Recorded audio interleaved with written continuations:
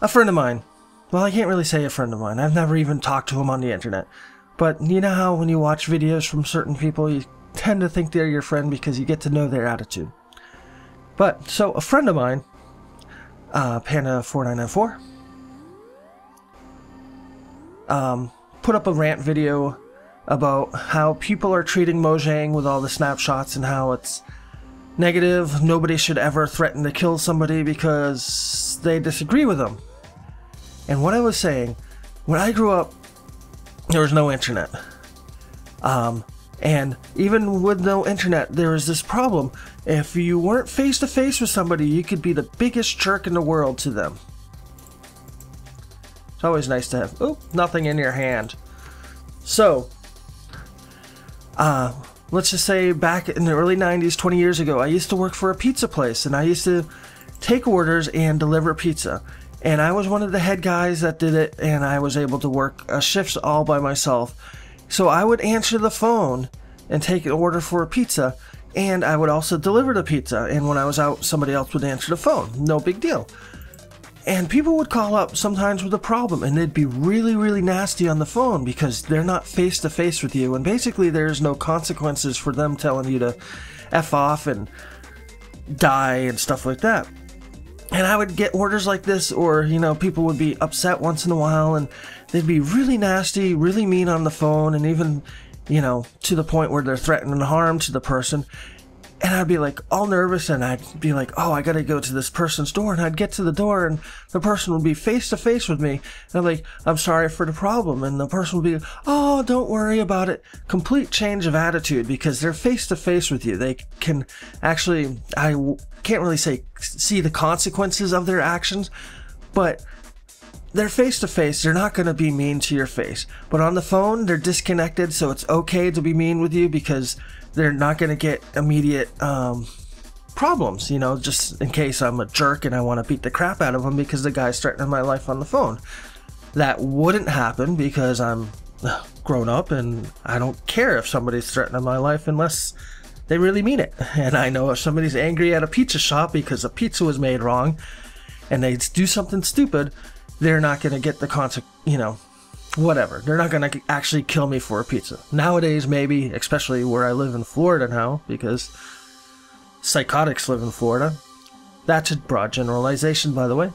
So, what I'm getting at um, is if you're face to face with somebody and you're not going to say something, when you're not face to face to that person, don't say it. Um, another prime example is driving a car, road rage. Some guy will give you the finger behind the wheel because they don't think there's any consequences to it because who the hell is going to get out of their car and go after the person who just gave you the finger? But I've been in road rage situations in the past where a person has actually gotten out of their car to threaten to beat me up. And it's like, okay, I get out of my car, so now the um, threat is real. It's face to face instead of behind the wheel. And the person shakes my hand and says, Sorry, I didn't mean to get that upset with you. Because the danger is it becomes real.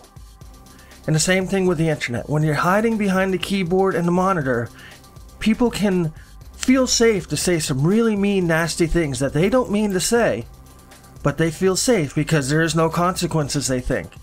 But that doesn't mean that you tell Mojang or Te- um, Jeb that you want them dead, go commit suicide or whatever. That is freaking mean. You gotta remember, even though you're not face to face with a person, you are still talking to a person.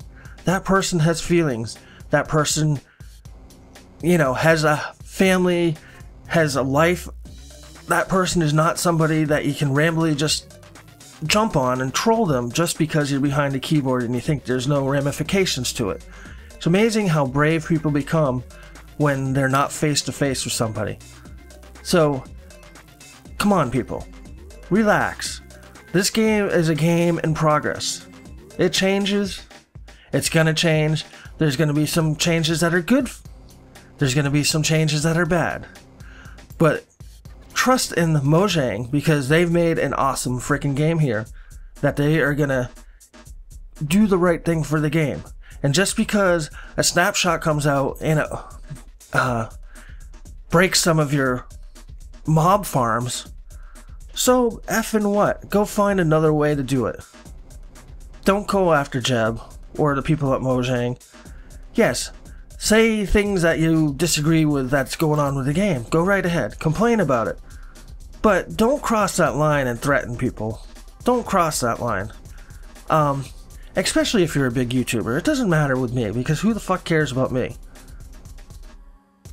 Well, a couple people, mainly my daughter. Uh, but come on, it's a game. Relax. We're in the snapshots. Whatever is changed, we'll probably change again in the next snapshot. Communicate with the makers of the game. Be happy that they communicate with you. And don't threaten anybody. It is just a fucking game. So, I will have to say, Panda's rant was right.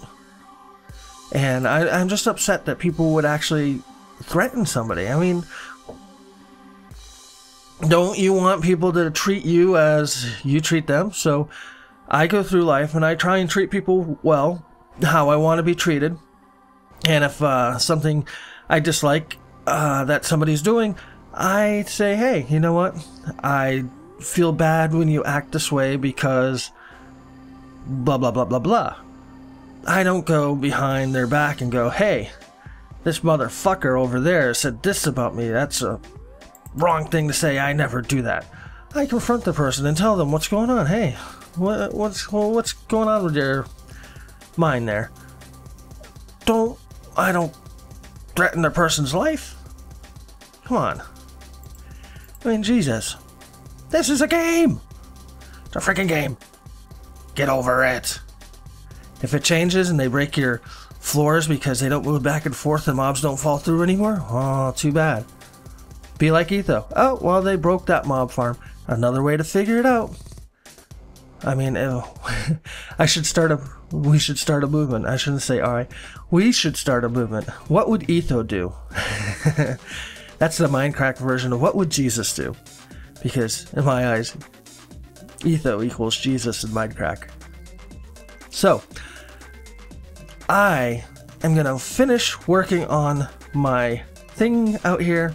Thank you for listening to my rant, by the way. And um, I would have to say Thank you, Lapis Demon, uh, Mary Diana, uh, for also standing with the cause with the panda because she's a pretty cool person, also. And uh, she says what's on her mind, just like everybody else should. Don't keep things bottled up. Say what's on your mind because it keeps the anger from bottling up to one day you explode and you go crazy and go blah. blah, blah. You don't want to go blah. But anyways, um, if you're upset with the changes with Mojang, Mojang,